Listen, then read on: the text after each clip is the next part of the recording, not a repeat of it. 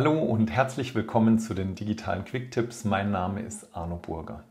Auch wenn es in OneNote keine spezielle Funktion zum Anlegen eines Inhaltsverzeichnisses gibt, so ist es doch recht einfach.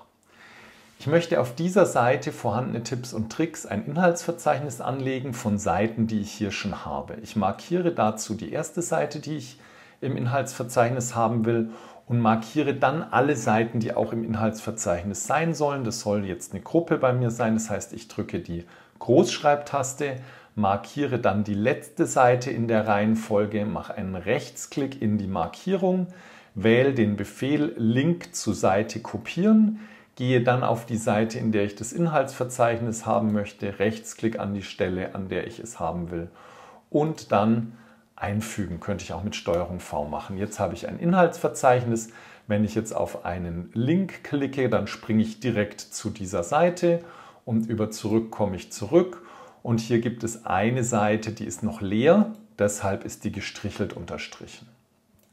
Wenn ich jetzt das Inhaltsverzeichnis ergänzen möchte, weil ich noch weitere Tipps und Tricks mache, dann markiere ich die weiteren Seiten, die ich ins Inhaltsverzeichnis aufnehmen will. Wieder Rechtsklick, Link zur Seite kopieren und füge die einfach hier am Anfang mit hinzu und habe jetzt alle Seiten, die ich drin haben will, drin. Wenn ihr Seitentitel ändert, dann wird dieses, dieser Seitentitel hier nicht im Inhaltsverzeichnis mit aktualisiert, aber die Links funktionieren weiterhin.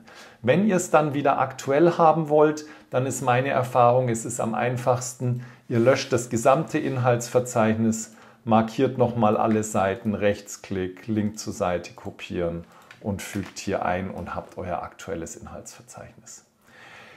Probiert es aus, äh, schaut mal, wo ihr so ein Inhaltsverzeichnis brauchen könnt, ähm, was euch vielleicht noch fehlt. Schreibt mir das gerne in die Kommentare. Ihr wisst ja, ich beantworte die gerne. Wenn es euch gefallen hat, hinterlasst mir einen Daumen hoch und abonniert natürlich auch gerne den Kanal. Vielen Dank fürs Zuschauen, viel Spaß beim Ausprobieren und bis zum nächsten Video. Ciao, euer Arno.